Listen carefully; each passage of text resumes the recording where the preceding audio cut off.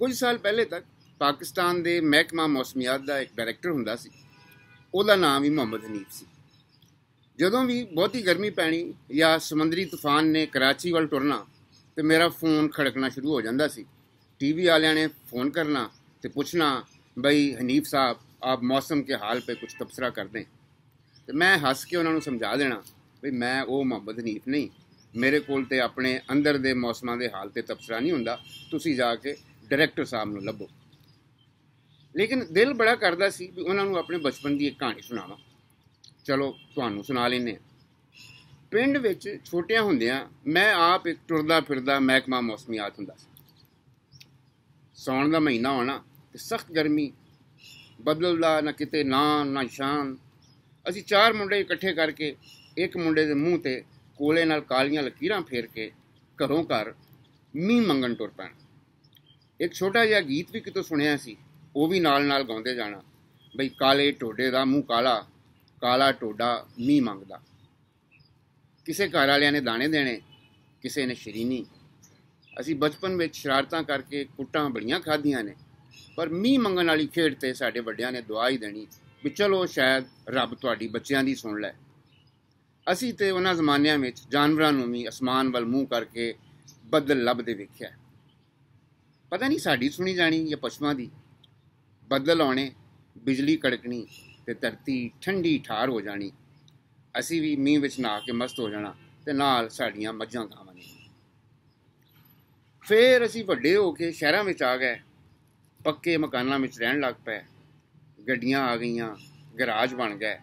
ਹੁਣ ਬੱਦਲ ਦੂਰੋਂ ਵੇਖ ਕੇ ਸਾਡਾ ਤਰੋਂ ਨਿਕਲ ਜਾਂਦਾ। ਪਹਿਲੇ ਬਾਰਿਸ਼ ਦੀ ਦੁਆ ਮੰਗਦੇ ਹੁੰਦੇ ਸਾਂ, ਹੁਣ ਦਿਲੋਂ ਆਵਾਜ਼ ਨਿਕਲਦੀ ਹੈ ਵੀ ਰੱਬਾ ਇਸ ਬਾਰਿਸ਼ ਤੋਂ ਸਾਨੂੰ ਬਚਾ। ਜੇ ਬਾਰਿਸ਼ ਸ਼ੁਰੂ ਹੋ ਜਾਏ ਤੇ ਦਿਲ ਕੰਬ ਜਿਹਾ ਜਾਂਦਾ ਹੈ, ਵੀ ਪਤਾ ਨਹੀਂ ਕਿਤੇ ਕਿਤੇ ਹੜ ਆਵੇਗਾ, ਕਿੰਨੇ ਬੱਚੇ ਗਟਰਾਂ ਨਾਲਿਆਂ ਵਿੱਚ ਡੁੱਬ ਜਾਣਗੇ, ਬਿਜਲੀ ਜਾਵੇਗੀ ਤੇ ਪਤਾ ਨਹੀਂ ਕਦੋਂ ਆਵੇਗੀ, ਜੇ ਆ ਗਈ ਤੇ ਪਤਾ ਨਹੀਂ ਉਹਦੇ ਕਰੰਟ ਦੇ ਝਟਕਿਆਂ ਨਾਲ ਕਿੰਨੇ ਮਰਨਗੇ। ਅਸੀਂ ਆਪਣੀ ਧਰਤੀ ਨੂੰ ਪੰਜਾਬ ਆਖਨੇ ਆ ਲੇਕਿਨ ਬਹੁਤ ਸਾਰੇ ਲੋਕ ਐਸੇ ਨੇ ਜਿਨ੍ਹਾਂ ਨੇ ਸਾਡੇ ਦੋ ਵੱਡੇ ਦਰਿਆ ਸਤਲੁਜ ਤੇ ਚਨਾਬ ਜ਼ਿੰਦਗੀ 'ਚ ਕਦੀ ਦੇਖੇ ਹੀ ਨਹੀਂ। ਅਸੀਂ ਸੁਕਾ ਛੱਡੇ ਨੇ। ਸਿਰਫ ਹੁਣ ਇਹਨਾਂ ਦਰਿਆਵਾਂ ਦਾ ਨਾਂ ਉਦੋਂ ਸੁਣੀਦਾ ਹੈ ਜਦੋਂ ਜ਼ਿਆਦਾ ਬਾਰਿਸ਼ ਹੋਵੇ ਤੇ ਕਹਿਰ ਖੁਦਾ ਦਾ ਲੈ ਕੇ ਸਾਡੇ ਮੋਏ ਦਰਿਆ ਅਜ਼ਾਬ ਬਣ ਜਾਂਦੇ ਨੇ। ਸੁੱਕੇ ਦਰਿਆ ਜਦੋਂ ਹੜ ਨਾਲ ਜੋ ਪੈਂਦੇ ਨੇ ਤੇ ਫਿਰ ਉਹਨਾਂ ਨੂੰ ਪਤਾ ਲੱਗਦਾ ਹੈ ਵੀ ਉਹਨਾਂ ਦੇ ਰਸਤਿਆਂ ਤੇ ਅਸੀਂ ਆਬਾਦੀਆਂ ਬਣਾ ਛੱਡੀਆਂ ਨੇ, ਕਲੋਨੀਆਂ ਕੱਟ ਛੱਡੀਆਂ ਨੇ। ਤੇ ਇਹ ਦਰਿਆ ਤੇ ਇਹ ਨਾਲੇ ਆਪਣੀ ਪੁਰਾਣੀ ਰਾਹ ਸੁੰਘਦੇ ਨੇ ਤੇ ਫਿਰ ਟੁਰੀ ਆਉਂਦੇ ਨੇ। ਨਾ ਰਸਤੇ 'ਚ ਕੱਚਾ ਘਰ ਬਚਦਾ ਨਾ ਕਿਸੇ ਦੀ ਪੱਕੀ ਕੋਠੀ। ਕਰਾਚੀ ਵਿੱਚ ਮੇਰਾ ਆਪਣਾ ਘਰ ਉਸ ਇਲਾਕੇ ਵਿੱਚ ਹੈ ਜਿੱਥੇ 70 75 ਬਰੇ ਪਹਿਲੇ ਤੱਕ ਸਮੁੰਦਰ ਹੁੰਦਾ ਸੀ। ਸੁਣਿਆ, ਸਾਡਾ ਕਰਾਚੀ ਵਾਲਾ ਸਮੁੰਦਰ ਸਬਰ ਵਾਲਾ ਹੈ, ਦੁਸ਼ਮਣੀਆਂ ਨਹੀਂ ਪਾਲਦਾ।